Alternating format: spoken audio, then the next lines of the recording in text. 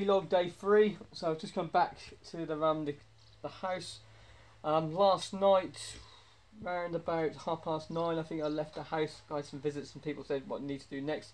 The ha- the house was, what's it on on the scale of humidity? At 65, mold starts growing. My humidity of the house was 64 last night. So um, he recommended me to start taking the carpets out. He knows what I've got, and so on there. So this is where we started. So me and my brother Kevin, um, you see there, we've started ripping the carpets out downstairs.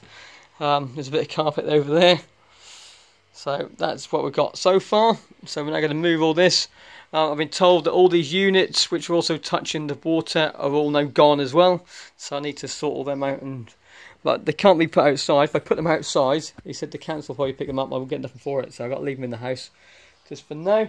So that's it. That's what's happening today. So we're going to empty all these units, put all the stuff upstairs in storage, and then um, cut this carpet out of the house, but keep a bit aside. On a plus note, I've got a couple of sales going out very shortly. Um, this one's just come in, a Bop It Extreme 2, got £10 for this. Um, this hair sold yesterday, um, a couple of days ago. I messaged the lady saying, sorry, I've been flooded, I need to sort it out. She come back saying, I need it because I've just bought some PS1 games, can I have it soon? Well, that's bloody helpful.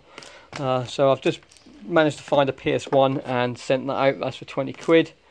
And that's that book I just passed it up, which I showed you last night on there. But um, that's it for today. If I've got any more, I might add to it, but for now, there's nothing else really much less to say. But thanks again for the support, and I'll see you later. Bye for now.